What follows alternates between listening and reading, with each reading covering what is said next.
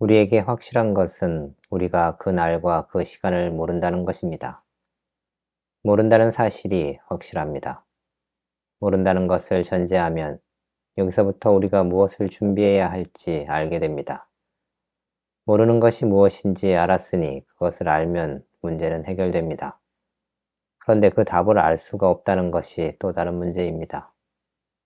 그렇다면 항상 준비된 채로 있으면 됩니다만 그것이 말처럼 쉬운 일이 아니라는 것이 또 다른 문제로 남습니다.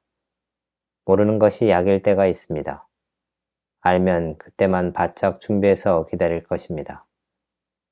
그런데 어떤 것들은 바짝 준비해서 될 수 없는 것이 있습니다.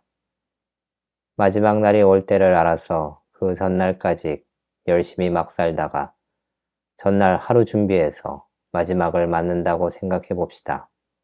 기쁠까요? 잘했다, 됐다, 이제 끝이다, 훌륭하다, 멋있다. 이런 말로 마무리할 수 있습니까? 아닙니다. 모르는 것이 정말 잘된 일입니다. 계속 준비된 상태를 유지해야 한다는 생각으로 임할 수 있습니다. 오늘 좀 부족했다고 느낀다면 그때부터 다시 준비하면 됩니다. 그렇게 매 순간 준비하고자 하는 마음으로 돌아가는 그 과정에서 우리는 마지막을 꽤 괜찮게 맞이할 수 있을 것입니다. 모르기에 더 잘 준비할 수 있습니다.